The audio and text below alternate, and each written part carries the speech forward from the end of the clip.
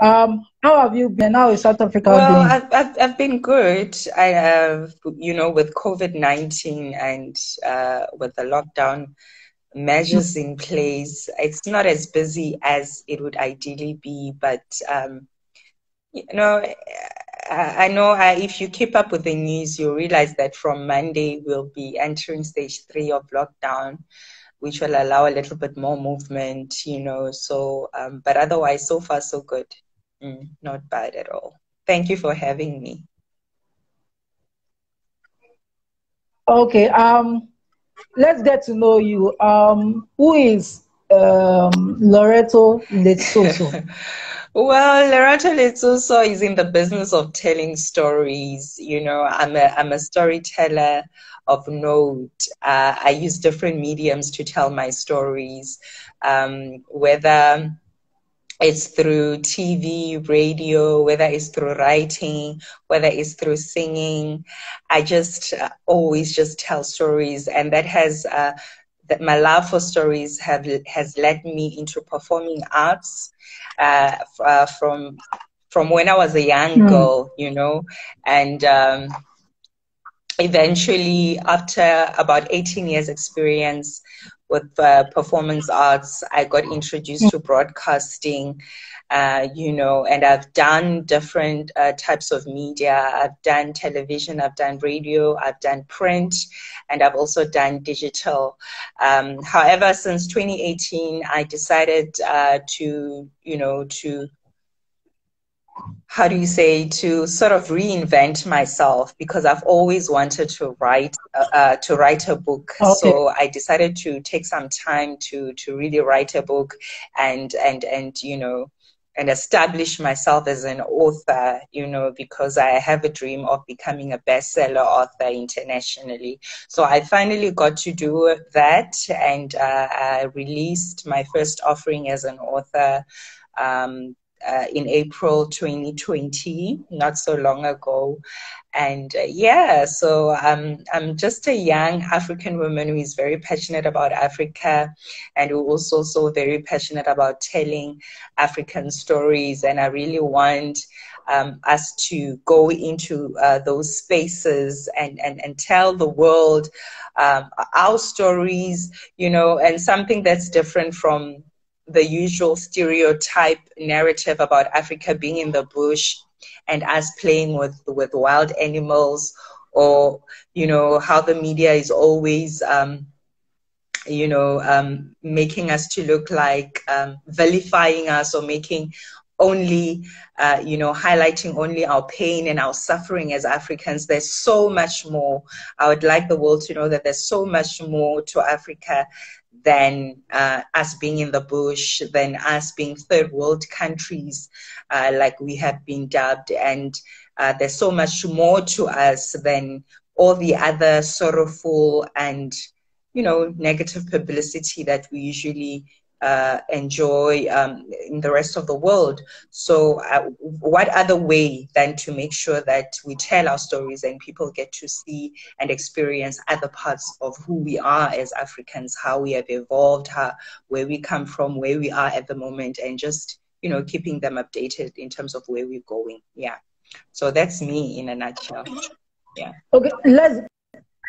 Uh, let, let's get to um, know um, can you tell us briefly about your educational background and um, family, childhood?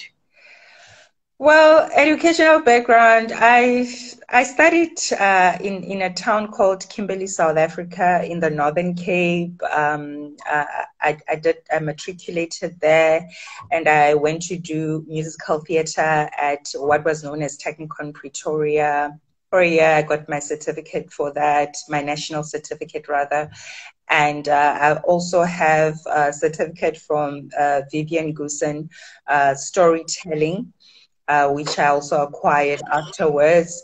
Okay. And, um, you know, I'm uh, did a BA in communications with UNISA, which I'm actually still busy with. But um, uh, in terms of education and qualification background, I'm a performance arts trained and storytelling trained uh, professional who ended up also just acquiring the rest of my experiences through work experience. I think I've just been fortunate by coming across people, especially bosses who really also became more than just bosses to me and also took the positions of being a mentor to my life and make sure that they expose me to opportunities, uh, you know, opportunities to grow as, as a professional and opportunities to develop uh, as, as, as, a, as an African woman. And uh, I owe a lot of my doors and, and, and opportunities to a lot of some of my former bosses from even way back in in South Africa, even before I came to Ghana and so forth. And uh, like I said, I'm, I, am i am a lover of stories. You know, I've always loved stories. So from childhood, um, I was exposed uh, to stories uh, to, through my father, my late father. Unfortunately, he's no more, mm. but he used to tell mm. us stories before we go to oh, bed. Oh, wow. Sorry. You know, my brother and I. Um, so okay. he really is the first person that gave me an experience of stories. Um, even though he didn't per se read read them out of a book he rather told them narrated them you know to us. But he made me fall in love with stories. And then later on uh, the father of my children the man that i would marry uh, sort of really um, made me fall in love with books because he was such a reader himself, you know. So I, I got to also appreciate books more because of him. I mean, I've always been uh, exposed to reading before through school and so forth, but not necessarily reading for enjoying, enjoyment. I wouldn't go out of my way just to get a copy of a book to read out of enjoyment. I would read because it's part of the curriculum, you know. But he he used to he used to read for enjoyment, and and he really rubbed that off to me. He would sometimes even recommend books to me to read, and I caught the flame, you know. And uh, uh, ever since then, I've never been the same. I fell in love with books as well. So there's a combination my father's influence, my late husband's influence. Um, and then yeah and then uh, you know um, I've, I've always been an artsy like uh, girl through and through from when i was young you know in, in my school years i was known for for for for for being a performer. You know, I, I was a stage girl, um, choir, I'm there, uh, drama, I'm there. You know, so so so so yeah, I, I come from that background, so that's why for me it, it wasn't even something that I would think about when I when I chose to study musical theater because for me it was like that's what I do, that's who I am. And, and, and I thought I would be this star, performance star, until later on, you know, when life happens and then you have kids and you realize that your body changes and you can't really, um, you know, commit uh, in some of these crafts the way you know with women it's quite an issue sometimes you know when you really want to have a family. The the the this professional world is set up in such a way that it's not fair to us women who want it all like who want to have a, a family and have children. You know um, uh, we we get frowned upon for for being pregnant for instance. You can easily lose your job for being pregnant. Uh, people could easily write you off the script.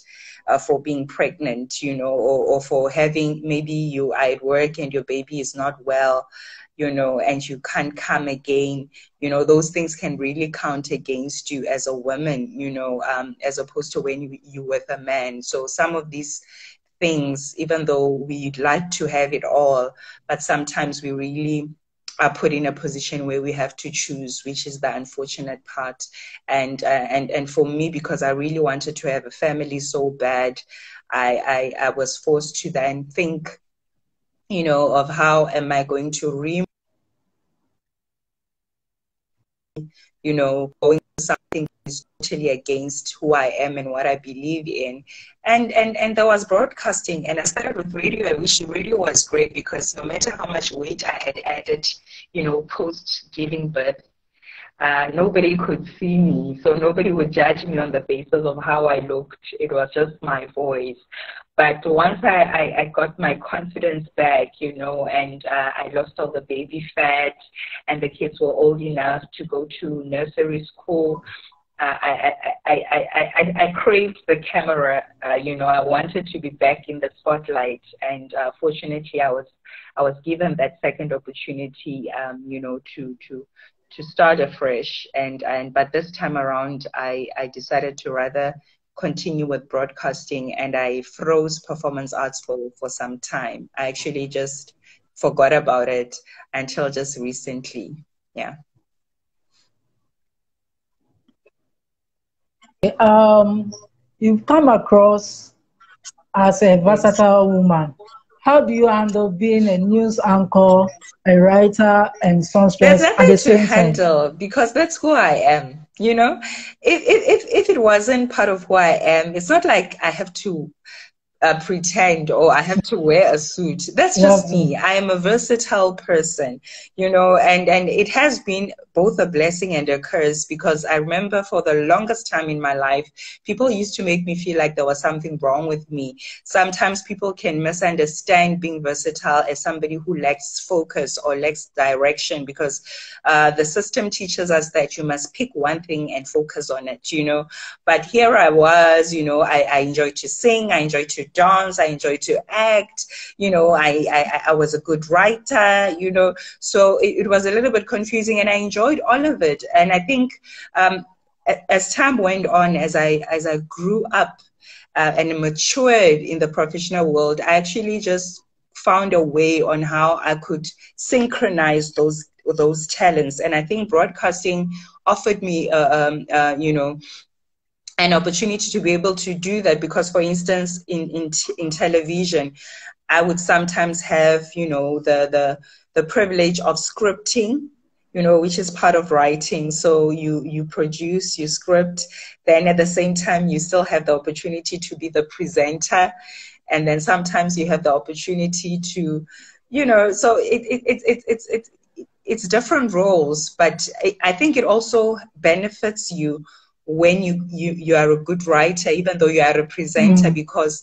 even when scripts are given to you and you go through them you are able to then you know edit your scripts in a way that you feel will be better. You're able to to assist your environment in more than just one role. You can double up as this slash this. And for me i feel like it's uh, it's something that every employer should be happy about to have somebody who can multitask and double up in different roles because in the event that you need certain human resource in a certain area i'm able to to run and be that. You know when they need a reporter somewhere i can quickly go and be a reporter. I don't say that no i don't report. I only present in studio you know? So if i need to be in the field i'm in the field. If i'm in the studio i'm in the studio. If i yes if i need to be in a lifestyle show i'll be in a lifestyle show. If i need to be in a current affairs show i'll be in a current affairs show. And i will do all those things equally just as good. So i, I think it's just a gift that i have um, and and obviously in addition to just having the gift is also to just continue to harness your skill, you know, to make sure that you don't lose touch. Read as much as you can. I mean, and, and, and, you know, and listen, pay attention to what's happening around you. Stay current to know what's happening around the world and, and know how to keep being competitive uh, and, and, and ways of remaining relevant and competitive is to always make sure that, you know, you make sure that you're not too complacent and you keep on Im- improving and, and reinventing yourself to make sure that, you know, I, I took a break on purpose, but I know even if anything happens tomorrow and I was supposed to come back and read a news bulletin, I will still deliver like I, I left yesterday you know, because it's it's it's something that I'm passionate about and that I'm I'm, I'm skillful. It's a skill. You can't take that away from me. you know, it, it's it's something that you cannot take away from. Does yeah. Uh, does anyone play um, the role of a mentor or coach in your life? Yes and and and it's not just one person i i i think i'm one of the most privileged people in the sense that I, I, I have a cocktail mm. of, of, of, of influences, you know, and, and, and all these mm. people mm. in the in the in the you know in the respective areas are always imparting in me. And you can imagine when when when people different people are pouring into me their different expertise. I, I have no choice but to be better as a person. You know i have um, most of them are my former employers. I've got dr lucas moloi who, who's always been a mentor to me. I've got uh, mr roche uh, uh, uh, mama bolo who's a businessman and entrepreneur actually one of the people who gave me my first break on radio. Um, um, who, who still is accessible. Uh, even Dr. Um, Lucas Moloi is still very much accessible as and when I need to consult about different things. They still offer their advice and they support. You know, I've got uh, my dear friend, um, uh, Given Mkhari, who is in the media. He's a media mogul in South Africa who I have access to him and I can always consult with him. And um, through my experience in Ghana, I, I have people like Ola Ray, which you know. I've got people like uh, the, fo- the former oh, editor yeah. of, of, of, Starr Online, um, Kent Mensah, who is also very accessible, uh, you know, to me, offering me support. Most of these are even men, not women. But, uh, you know, I've got other women as well who, who, who offer the, the, the, the mentorship to me, you know, and, and, and it's not just one person. I cannot credit one person for for who I am today. It's a cocktail of people. I pick from different uh, you know, from each and every one of them, whatever advice they give me, and I run with it. And I think what they have in common and what they can agree on is that uh, I'm somebody that really makes the most of my opportunities that are given to me, you know, and and and and yeah, and I think that's wow. the one thing that they all agree with, you know. That's why they they they're more than happy to always, um, you know, see me win. They want to see me win. You know, I can easily go back and tell them, hey, I'm working on this or I'm mm. doing this, and I'll get a word of encouragement. You know, so really, yeah, I'm I'm really blessed in that in, in that regard. Now let's come to your book. Um, tell us about your book, Naija-Southy Affair.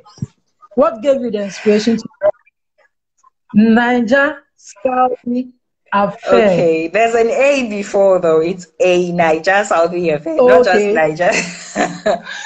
well, I'm, I'm like you. Know, I, I mean, I've been, I've been but, saying but, I've always been a storyteller. I've been a lover of stories. You know, from from from Adam. You know, uh, so mm. where to begin? But what what what gave you the inspiration to? Mm, what gave you the inspiration to write um, this book and what does the well, book the, the book on? Is, is, is a fiction piece. Uh, it's a romance novella. Um, it's, it's a love story, an African love story. I mean, if you if you look around, you realize that in mm. Africa we don't really have a love story that focuses on integrated couples who are African. Every time we talk about integrated couples, we talk about different races like black, white, or you know other people, but hardly do mm-hmm. we really make emphasis of the integrated couples within the African continent because those can also be very complex. You know, imagine a Ghanaian with a South African or a Nigerian with a, someone from Botswana, and because integrated couples are there you know they they always existed and and i feel like they do deserve space uh, within um, our stories, um, somebody had to narrate the story for them. And I decided to be that one. I couldn't, unfortunately, pick everybody at, the, at a go. You know, I decided to go with Nigeria and South Africa because uh, from my informal research that I've done, I realized that uh, the Nigerians and the South Africans in South Africa, by the way, are the ones who are largely likely to to to to get you know into relationships with each other. It's also one of the most controversial um, uh, setups that you can think of in comparison to others. For instance, I can marry a Ghanaian tomorrow. I don't think it will catch the headlines, but the moment everybody finds out that Lerato is getting married to a Nigerian, it will start like making, uh, you know. headlines. So, um, and it also gave me an opportunity, like access to be able to do my research.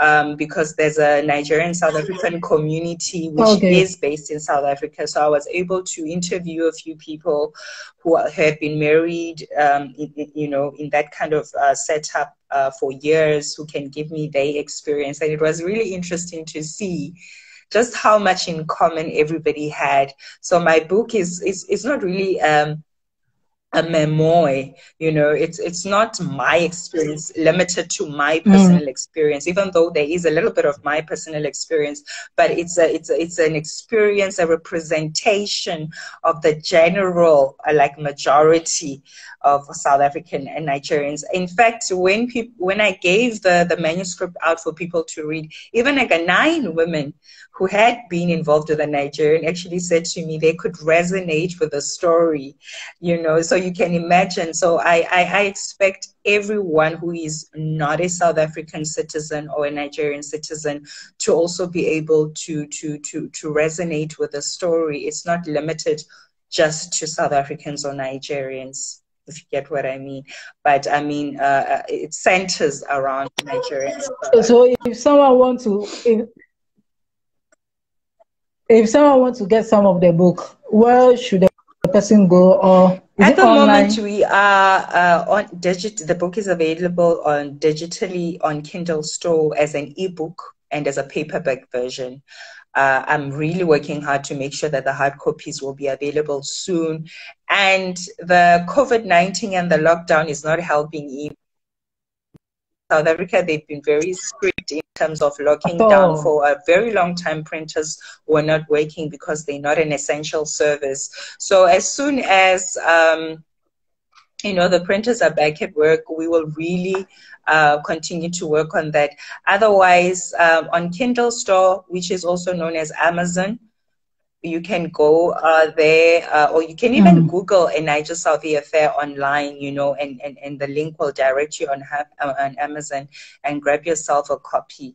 Um, yes and feel free to also share your reviews you know. I always love to hear what uh, people were experiencing when they were reading the book yeah. And so far so good. We've really had a very overwhelming response to the book and i'm really happy about that Okay, um, so you were nominated at African Author Awards. How has it changed your attitude towards being an author? Hey, I hadn't even had. I was still warming up to to to to the idea of being an author. Okay, so I I, I haven't I hadn't even yet you know started to really believe or it hadn't sinking in that I was an author yet when I got the nomination. So it's it's it's a really overwhelming experience mm. for me. It it it just gave me an, an affirmation and it has validated my dream. It has told me that every uh, thing, you know, every challenge that I faced on my journey to, to, to, to, to publish this book, because I really faced some challenging stuff, you know, it, it told me that this was a, a dream worth pursuing.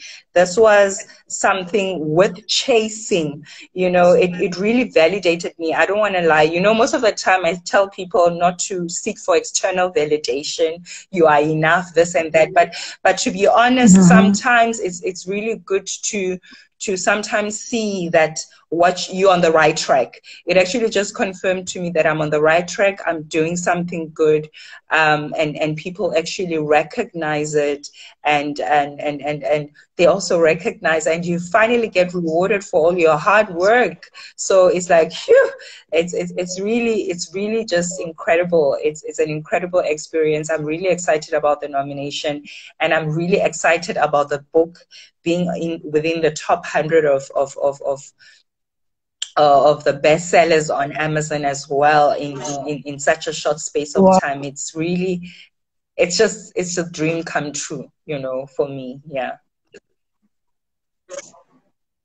Wow. So uh, last year, um, you hosted the 2019 Nigeria Community Excellence yes. Awards in South Africa.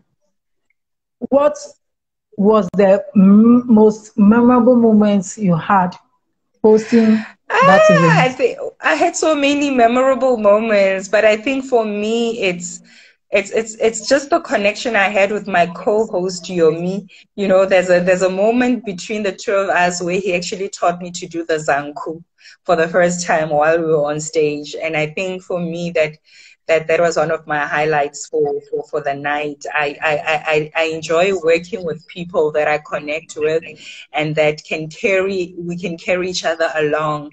You know, um, he's just one of those people, you know, co-hosting is not easy especially when you guys don't know each other from above. So Yomi and I never knew each other before the awards.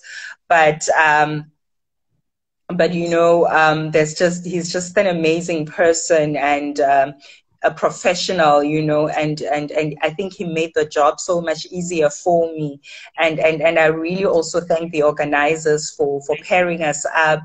They're doing an amazing job. And for me to also see, um, uh, you know, overall these uh, foreign nationals in South Africa being awarded for their various, um, you know, uh, being celebrated for a change mm. because Nigerians are, are always being, being, you know, being spoke, talked about for all the controversial things. So for a change to be under the same roof in the same environment with with achievers, you know, it, it, it's really great, and, and and I really really applaud, um, you know, the organizers, and I really thank. Um, Olani Abodedele, you know, for, for, for, for, for trusting me uh, to, to handle the, the, you know, the, the role of being co-host for the night. Yeah, it's, some, it's an experience that I, I, I, will um, never forget. And actually, given another chance, I would really like to come back and, and, and host uh, the awards again sometime in the future. Yeah. Would you like to come back to Ghana after this uh, COVID? Oh, it, it's definitely in the cards. I mean, um, uh, the idea is to go on book tours. The idea is to have the book available as far and wide. And and and I mean, uh, the, the the the person who wrote my foreword for me is Ghanaian. You know, uh, Charlotte say. I, I have to deliver her book to her personally. Oh, uh, yes, uh, for my yeah. And the guy who, who who who who designed my my illustration for the book cover is uh, Alfred Jr. Achiampong. He's a Ghanaian as well. So I, there's no ways mm. I can omit Ghana from from this whole experience. And and by the way, I still have unfinished business with Ghana as well. You know, uh, I was speaking with Bolare, in fact, earlier on in the year before we knew about COVID 19, and I told him my plans of coming to Ghana, and I said to him, you know, I, I, I would really like to do. I see myself doing a lot of collaborations with some of the Ghanaians that uh, you know that I had um, gotten to know during my stay there, and it's something that we really are excited about. Um, but as an in terms of exactly when these collaborations will actually materialize, I really don't know. But it's something that will definitely happen. There's no ways I can not have anything done from Ghana. I think it's the longest I have, I've ever stayed away from home, and it has become such a significant part of my story and a significant part of my life. I absolutely love Ghana. Um, why should anyone pursue a career in journalism? And what challenges have you had to overcome in pursuing your career? I think our challenges are really um, they're not necessarily the same. You know, we we all have different experiences and different stories. And uh, with evolution and urbanization and, and so many other developments uh, in, in society, things are no longer the same anymore, you know. Um, I think times have changed you know. I think i think if you really want to do journalism well if you really must study journalism really do. But um, be prepared to to have add-ons mm. you know. Don't don't limit yourself to journalism alone you know, um, as you can see, a lot of media companies have been closing down. A lot of media companies have been really struggling. You yeah. know that the cable networks are now moving away from being just cable networks and moving into social media, you know, and, and, and, and other online platforms and magazines are really struggling. So I think if you can, if you have the opportunity to study a course that will prepare you for the developments and the changes that we're currently facing, then great. And in the event that you don't, I think you should just venture into it with an open mind. You know, don't limit yourself to just newspapers or just magazines. You know, I think um, being diverse is, is, is, is, it would really benefit you a lot. It will make you employable because the competition is really tough, you know, and the, the space is, is quite small. It can look big, but it's small because you, you find somebody who is reading on TV, also doubling up on radio. The same person has a magazine feature somewhere.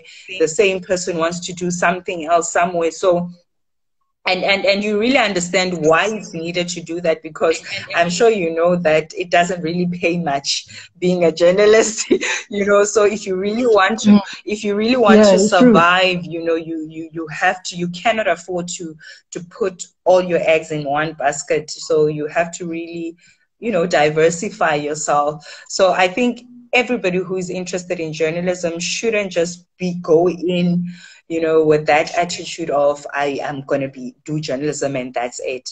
And if you can, uh, don't limit yourself and say I want to be a, for instance, a sports journalist. That's even worse. You know, try and be as generic as possible. You know, uh, try and and be not just a presenter. Try and find out, uh, you know, have some skills in terms of production.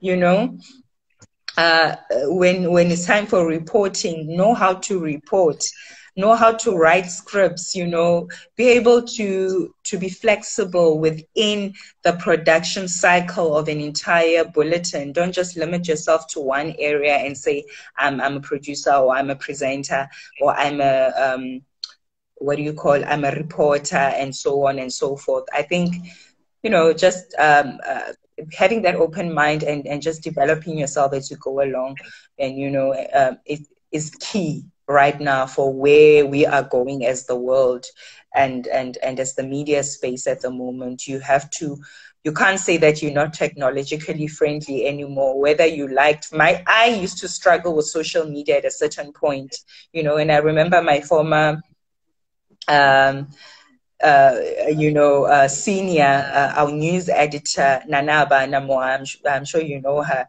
You know, she she's the one that mm. that, that, used to really drill yeah. it in us to to get to a place where we are comfortable with social media that it becomes part of us that some that's a woman that's always been forward thinking you know in terms of her approach she's she's very smart in terms of her uh, techniques with her career. And i think what one because she has done she's influenced me in many ways but i think one of the major ways that she she really made me to get out of my shell is to to make me aware how important it was for me to be accessible to to the public to be to be more accessible to to the viewers you know to for them to be able to connect with me and and and all that and i must say that um, it has really exposed me and given me, you know, more opportunities to other roles. Hadn't I been visible or had a digital footprint, I don't think I would have met some of the amazing people that I've met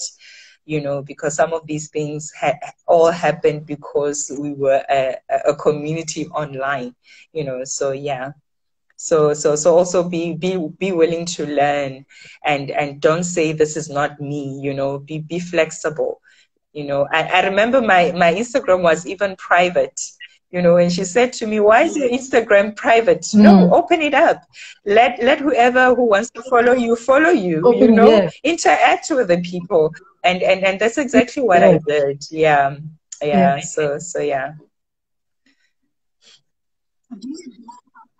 Do you believe anyone can be a broadcaster in news and current affairs? I think anyone can be whatever they really are determined to be. And depending on how talented or how, or rather how, let me rather say how disciplined you are, because the discipline is extremely important. Sometimes you may have the talents, but not have the discipline uh, to work hard, to be punctual, to stay updated, to read, to show up or to put in the required work, uh, you know, for you to be taken seriously in your workspace. So for me, anybody who has the discipline, if, if you have the desire, that's not good enough. A desire is good, you know, but the discipline is really required. You know, I get a lot of people who say people get away with it because of their looks you cannot simply become a successful broadcaster only because of your looks. It's not your looks that show up maybe when you have a 5 a.m. call time. It's not your looks that stay in a newsroom environment for like 12 hours and something sometimes even more than 12 hours and then you have to also come live uh, most of these bulletins are not recorded they're live you know so not everybody yeah, can do handle that you know so so i think sometimes we really under uh, uh, uh, estimate uh, some talents, you know, and we think everybody can just roll over and, and, and come and do a bulletin, you know, because the people who do it make it look so easy. And there's so much work that, that comes into that. There's so much work before the actual bulletin. Like you can imagine um, clocking in maybe at 8 a.m. for your pre-production meeting and, and only for you to stay until your prime time bulletin in the evening. And that's the only time your story comes out, meaning that you've spent all these other hours putting together just a piece of a story to feature in the news bulletin. It may be just three minutes or four minutes, or maybe if it's a documentary and you're lucky, uh, more than four minutes and that's all that's all that you've done for the day but so much more than that but people watch and they think oh that's it you know but there, there's really it, it really is a hard work. So i think we should really change the way we see broadcasters and the way we see people especially those who do live tv it's really not something that you just roll over and do. Sometimes you plan but sometimes they are breaking news. You you know it, it, it's not scripted. So you have to learn to think on your feet. You you know you and and, and all the more reason why you must familiarize yourself with current affairs. You need to know what's happening in the world because sometimes you might have in- interviews that you were not aware of because of breaking news, and you might need to think on the spot in terms of, uh, you know, your line of question. Uh, for for the person that you're interviewing. So, and your questions people are always expecting us to be smart and to know everything. And and it's these are not things that you suck out of your thumb you know. So so so it, it, it it's all of that is preparation and hard work. And and those are not possible if you are not disciplined. So i think for me discipline is is tops you know over and above talent. If you have talent and discipline then the world is your oyster. Yeah any difference between Ghanaian news and South African news? And which ah, one do you prefer? What kind of question is that? You're putting me on the spot. no, there, no, there's definitely there's, there's, definitely a difference. I mean, we are different uh, culturally. You know, what what what appeals to Ghanaians is not necessarily the same that would appeal to South Africans. So definitely, our our news bulletin in terms mm. of our interests will not always be the same. However, what I have observed is that in terms of uh, the structure and the processes, uh, you know, um, it's, it's the same thing, you know, uh, in terms of what's required for you to put in. Um, it's the same. I think in South Africa, we are a little bit um, advanced in terms of technology.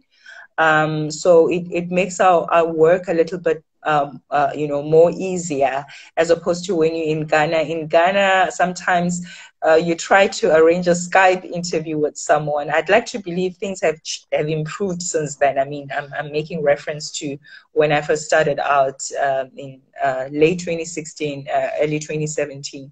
Sometimes just getting connected with someone used to be an issue and then you have to end up falling back on a phone call for something that you would have ideally wanted to do on skype and i think if if, if we keep on working on things like our network, our overall network in the country.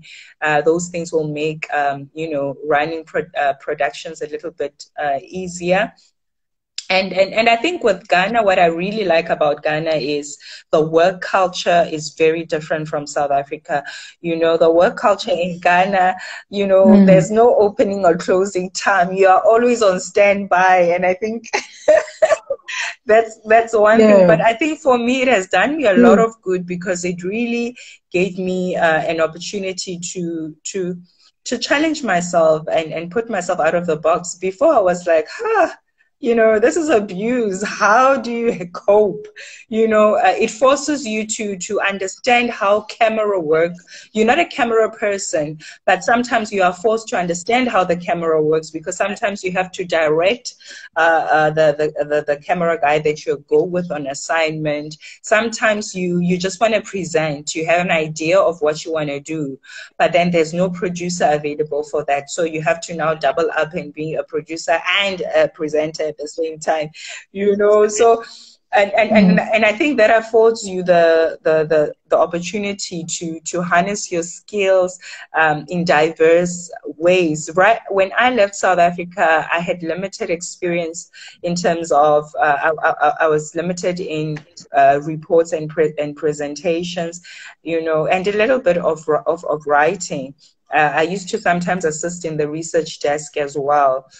However, in Ghana, I was able to really, um, you know, to, to, to really diversify a lot within the, the newsroom. And, and, and it, when I, by the time I left, I, I, was, I left richer than how I was when I came. Let me just put it that way. So it, it was really a, uh, an amazing experience for the most part. For the most part, not every day, sometimes very frustrating, but um, mm. for the most part, it was really overall an amazing um, experience. How was your experience as a contributing writer for the Ghanaian lifestyle magazine Ago and um, GH1? Well, as you remember, I, I had a column called The Garden on the Starr FM Online. I think that's where I started with my writing, you know, and I, I enjoyed the column. With the mm, column, it was yes. easier yeah, with the column it was easier because um, I had to just make sure that the that the editor approves. Uh, at the time, the editor was Kent Mensah, so I would have to send my things via Kent, and once it's approved, then they will publish it on my behalf. It was so much easier. But by the time I joined Ago magazine, it was a different ball game altogether. I became much more involved in the editorial team.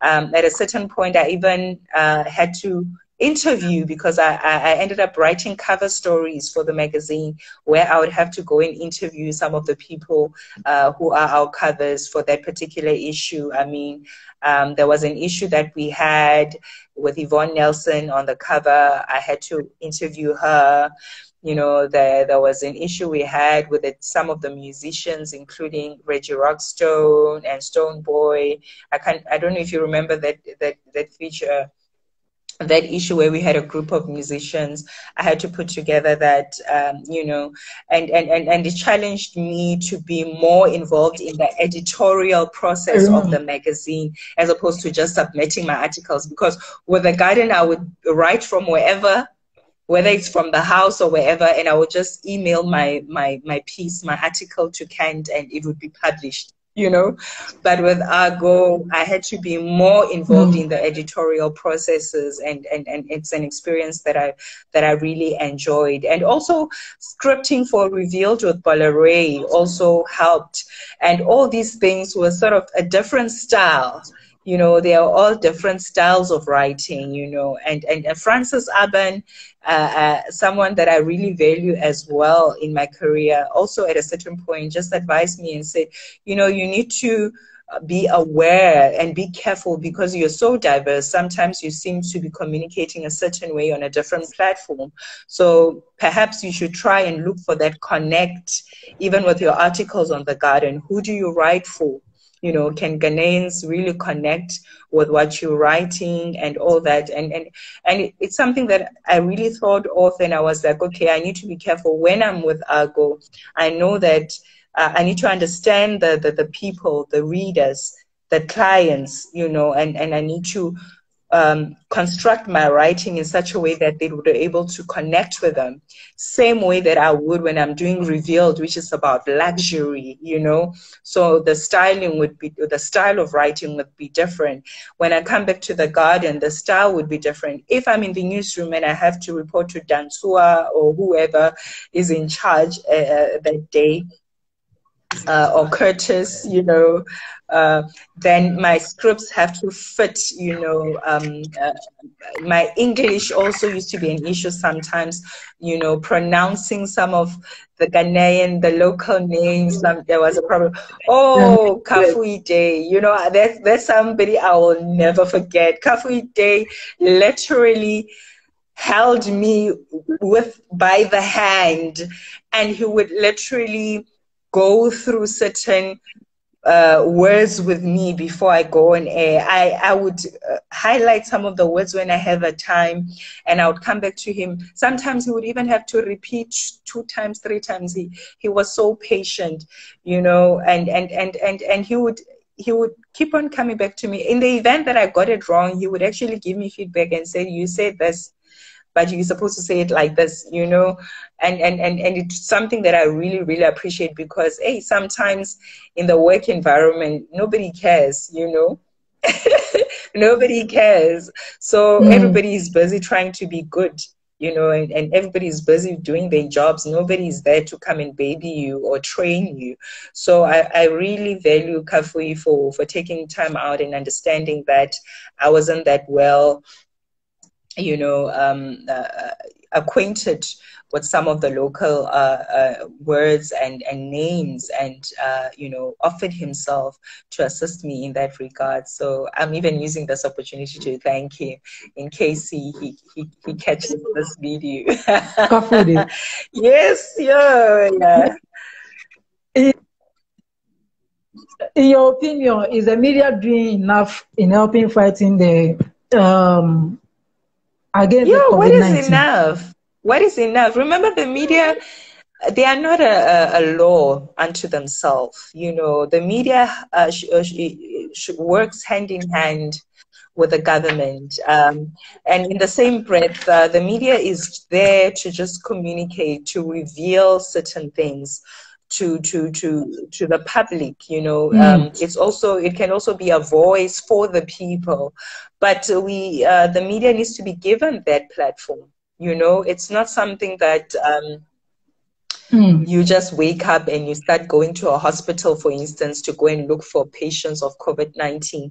To even access some of these places, to access some of the information, some of the data that they have, you need permits. You need, uh, sometimes you need to arrange in advance. So when there's too much red tape, you know, when, they, when there isn't transparency sometimes, that can make uh, uh, the life, uh, the work of the media rather very difficult. Um, you know, so but but I really respect those in the media space who who really go the extra mile in making sure that they, they get the information and the data that they need to get from the relevant people so that they are able to communicate this to ordinary people. Remember when people watching uh, are watching the news, for instance, most above everything else is to get information. You know you inform you teach you know mm. and, and all that. So now most of them rely on on on on on, on the on the on media to inform them and what is going on. So the data for it to be accurate is is of high importance for the media. And you can't just make these things up. You know you need stakeholders that will cooperate with, with the media houses to make sure that the media has the, the, the information that they need to share. Um, I think the media is really doing uh, as much as it can. And uh, we can only do so much when we have the cooperation of other stakeholders. For instance, if we, if the Department of Health uh, or the, the presidency, for instance, wants to do a media release, they would have to inform us and we have to make sure that everybody else gets to know that the president is going to give a covid-19 update at a certain time. So watch you know so that you hear what's going on. Uh, when the numbers have, have, have have increased in terms of the affected the affection rates uh, or the number of deaths or the number of recoveries it's our responsibility to to make sure that people are you know they get updated in terms of what's going on. But we, this is not, we are not involved in those surveys. We're not involved in the hospitals. We're not the healthcare workers. So we need them, you know, to, to give us access to, to these information, you know, the right to information, the right to freedom of press, you know. I don't think we are 100% there yet because sometimes journalists as you might have uh, remember in some instances, some journalists' lives get uh, uh, threatened or are at risk for, for sharing some certain information, um, and, and, and it, which brings to question the, the freedom of press, really. You know, uh, we're not there yet completely, but I, I think we, we're getting there, and, and, and I think having people that are brave in the media space is something that we shouldn't take for granted because these people are the ones that are making sure that they really fight for the rest of us, you know, to make sure that no journalist or no media person, excuse me, you know, gets in, uh, being intimidated to not do their work. And, and also uh, they have the right to safety and, and protection whilst they are on duty. Um, my last question: What new projects are we to expect from you next year? Next year already. you know what? I'll give you a simple scenario. Beginning of 2020, I wrote in my journal okay. so many plans. Guess what? COVID mm. happened, and so many of those plans had to be changed. Wow. So I, I don't think I want to throw myself in there and, and share plans for 2021 yet. However, what I will say is that as soon as I have the green light to continue with my plans for 2020, which is to uh, take my book on tours, to do more author engagements, um, to do more collaborations. Um, I will definitely do that. Uh, and who knows, maybe another book as well. so you'll just have to wait and see. Yeah. Okay. Um, sorry, last one. Um, if you were given a chance to participate in politics, what area of politics will you explore and what impact will you make on behalf of South African women? I think uh, I, I, have I have options. It's either I'm within communications, uh, media and communications, or I am with foreign affairs, you know, um, uh, because uh, I'm, mm. I'm passionate with both areas, or I could be placed within the gender office because I'm equally as passionate with women issues and children issues. So uh, I think um, I'm, I'm, that kind of a person that you would easily place or, or, deploy in, in any sector. I think if you put mm. me in the arts and culture, I would I would do I would do a decent job. If you put me anywhere within communications and media, I would do a good job. If you put me within foreign affairs, I think I would do an even better job because uh, I've had the experience of of, of, of, of, of you know that is outside South Africa. I, I sort of understand um, I, I understand uh, some of the the how some countries uh, you know operate. I, I culturally on a cultural level i can relate with with people who are non-south africans you know and i think it's very important when we when we deal eh, within the foreign um, uh, affair